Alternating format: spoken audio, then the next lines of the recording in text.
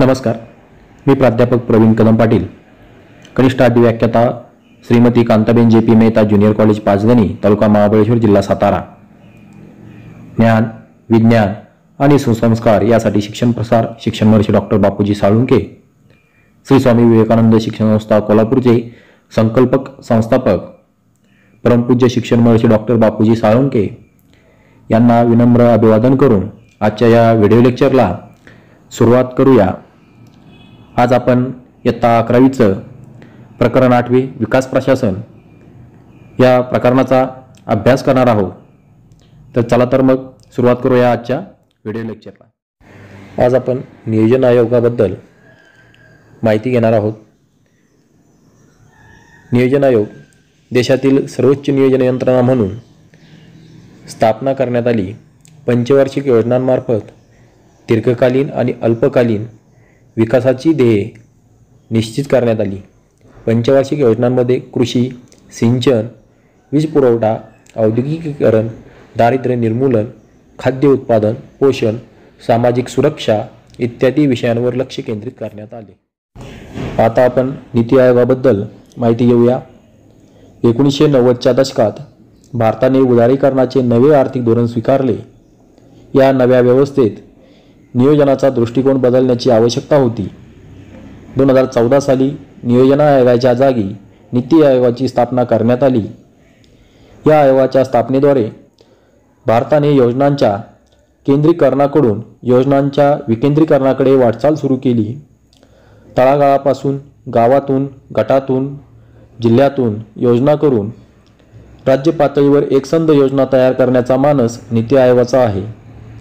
राज्य पातळीवरील योजनांचा राष्ट्रीय योजनेमध्ये विचार केला जाईल आणि याद्वारे संपूर्ण देशाचा विकास साधला जाईल. आता आपण नीती आयोगाची रचना समजून घेऊया. नीती आयोग म्हणजेच national institution for transforming India. NITI आयोगाचे अध्यक्ष पंतप्रधान हे पदसिद्ध अध्यक्ष असतात. नीती आयोगाचे उपदा उपाध्यक्षाची नेमणूक पंतप्रधान करतात. नीती आयोगामध्ये मुख्य कार्यकारी अधिकारी असतात. या मुख्य कार्यकारी अधिकाऱ्यांची नेमणूक पंतप्रधान करतात. नीती आयोगामध्ये पूर्णकालिक सदस्य असतात. या पूर्णकालिक सदस्यांची नेमणूक पंतप्रधान करतात. आयोगामध्ये अंशकालिक सदस्य असतात. त्यांची मर्यादा दोन असते. यामध्ये काही पदसिद्ध सदस्य असतात. त्यामध्ये केंद्रीय मंत्रिमंडळातील कमाल चार सदस्य हे सदस्य असतात. व त्यांची नेमणूक पंतप्रधानामार्फत होते. आयोगामध्ये विशेष आमंत्रित सदस्यही असतात. या सदस्यांची नेमणूक ही पंतप्रधानांमार्फत होत असते. आयोगामध्ये परिषद आहे. या परिषदा दोन प्रकारच्या आहेत. एक प्रशासक परिषद आणि दुसरी प्रादेशिक परिषद. आता आपण भारतामध्ये सध्या गठीत असलेल्या नीती आयोगाची रचना समजून घेऊ. पहा सध्याच्या नीती आयोगाचे अध्यक्ष माननीय श्री नरेंद्र मोदी हे आहेत उपाध्यक्ष श्री राजीव कुमार मुख्य कार्यकारी अधिकारी श्री अमिताभ कांत पदसिद्ध सदस्य श्री अमित शाह श्री राजनाथ सिंग श्रीमती निर्मला सीतारामन आणि श्री नरेंद्र सिंग तोमर. यामध्ये विशेष आमंत्रित सदस्य आहेत श्री नितीन गडकरी श्री पियुष गोयल श्री थावरचंद गेहलोत श्री राव इंद्रजित सिंग. तर पूर्णकालिक सदस्यांमध्ये श्री व्ही के सारस्वत श्री रमेशचंद्र आणि डॉक्टर विनोद पॉल. आता आपण यशदा या प्रशासकीय प्रशिक्षण संस्थेविषयी माहिती घेऊया. यशवंतराव चव्हाण विकास प्रबोधनी पुणे ही महाराष्ट्र शासनाची प्रशासकीय प्रशिक्षण देणारी संस्था आहे.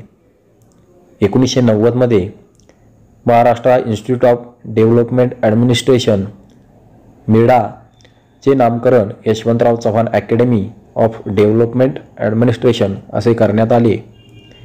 या प्रशिक्षण संस्थेचे दोन प्रमुख विभाग आहेत. यामध्ये प्रशासकीय प्रशिक्षण संस्था आणि राज्य ग्रामविकास संस्था. यामध्ये तुम्हाला खाली यशदा संस्थेचे लोगो व चित्र या ठिकाणी दिसत आहे. विकास प्रशासन या पाठातील विकास कार्यक्रम हा उपघटक आपण पाहूया. विकास प्रशासन संकल्पनेची अंमलबजावणी करण्यासाठी विकासाचे ध्येय डोळ्यासमोर ठेवून विशिष्ट योजना आणि कार्यक्रम तयार करणे गरजेचे असते. भारत सरकारने विकास प्रशासनाअंतर्गत तयार केलेले काही कार्यक्रम आहेत. या कार्यक्रमांची आपण माहिती घेऊया. भारत सरकारने विकास प्रशासनाअंतर्गत राबवलेले कार्यक्रम. पहिला एकोणीसशे बावन्न सामूहिक विकास कार्यक्रम यालाच समुदाय विकास कार्यक्रम किंवा community development programme C D P असेही म्हणतात.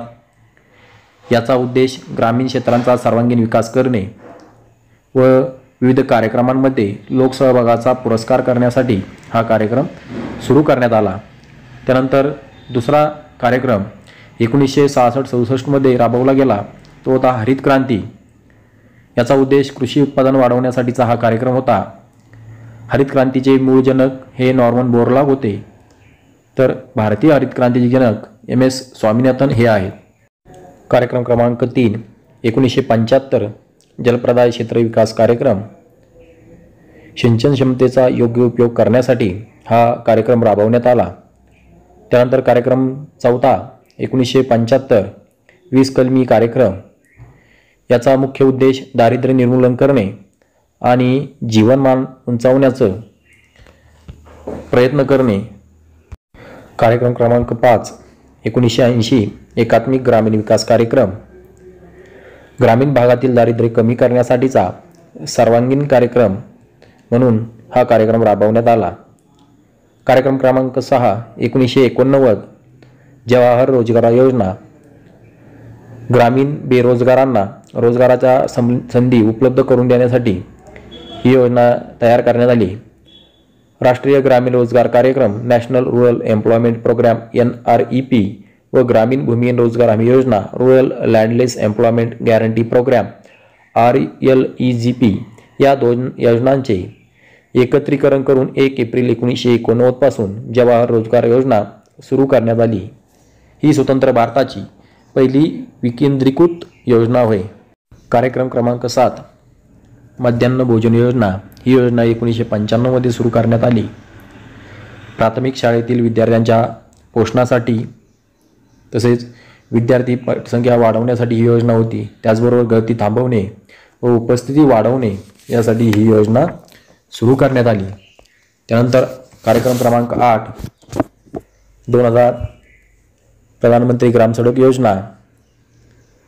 देशामधील सर्व गावांना जवळील पक्क्या रस्त्यांशी जोडण्यासाठीची ही योजना आहे.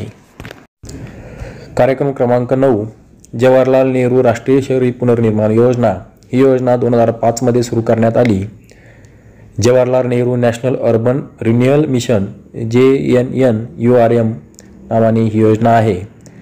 हिचा उद्देश शहरात पायाभूत सुविधा पुरवण्यासाठी ही योजना सुरू करण्यात आली होती. त्यानंतर कार्यक्रम क्रमांक दहा महात्मा गांधी राष्ट्रीय ग्रामीण रोजगार हमी योजना तिलाच मनरेगा असंही म्हणतात. ही योजना दोन हजार पाचमध्ये सुरू करण्यात आली. याच Mahatma Gandhi national rural N employment guarantee act असंही आहे. हा एक भारतीय कायदा आहे आणि सामाजिक सुरक्षेच्या दृष्टीने महत्त्वाचा आहे. या कायद्याने रोजगाराच्या हक्काची हमी देण्यात आली आहे. कार्यक्रम क्रमांक अकरा आधार योजना. या योजनेची सुरुवात दोन हजार नऊमध्ये सुरुवात करण्यात आली. युनिक आयडेंटिफिकेशन अथॉरिटी ऑफ इंडियाची निर्मिती ज्याचे उद्दिष्ट भारतातील प्रत्येक रहिवाशाला एक युनिक आयडेंटिफिकेशन किंवा अद्वितीय ओळख क्रमांक देणे हा आहे. हे एक संविधानिक प्राधिकरण आहे. Targeted delivery of financial and other subsidies benefits and services act दोन हजार सोळा म्हणजेच आधार कायदा होय. अठ्ठावीस जानेवारी दोन हजार नऊ रोजी या योजनेची सुरुवात इलेक्ट्रॉनिक्स व माहिती तंत्रज्ञान मंत्रालयाच्या अधीनस्थ करण्यात आली. त्यानंतर कार्यक्रम क्रमांक बारा प्रधानमंत्री जनधन योजना ही योजना दोन हजार चौदामध्ये सुरू करण्यात आली. भारतातील सर्व कुटुंबांना आर्थिक सेवा पुरवणे आणि त्यांचे आर्थिक समावेशन करण्याचे उद्दिष्ट या योजनेमध्ये ठेवण्यात आले होते. कार्यक्रम क्रमांक तेरा स्वच्छ भारत अभियान. या अभियानाची सुरुवात दोन हजार चौदामध्ये करण्यात आली. महात्मा गांधींचे स्वच्छ आणि निरोगी भारताचे स्वप्न पूर्ण करण्याचे उद्दिष्ट या योजनेमध्ये ठेवण्यात आले. कार्यक्रम क्रमांक चौदा उडान योजना. मुलींना उच्च तांत्रिक शिक्षणामध्ये प्रोत्साहन हे त्याचे प्रमुख उद्दिष्ट आहे. विद्यार्थिनींचे सक्षमीकरण करणे आणि त्यांना शिक्षणाच्या संधी उपलब्ध करून देणे हाही उद्देश या योजनेमागे ठेवण्यात आलेला आहे. आता आपण महाराष्ट्र राज्य मुक्त विद्यालय मंडळ याविषयी माहिती घेऊया. शाळाबाह्य व्यक्ती दिव्यांग कलाकार खेळाडू गृहिणी कामगार अतिप्रगत विद्यार्थी इत्यादी शाळेच्या नियमित प्रवाहापासून दूर असलेल्या घटकांना नियमित शिक्षणाची संधी उपलब्ध व्हावी.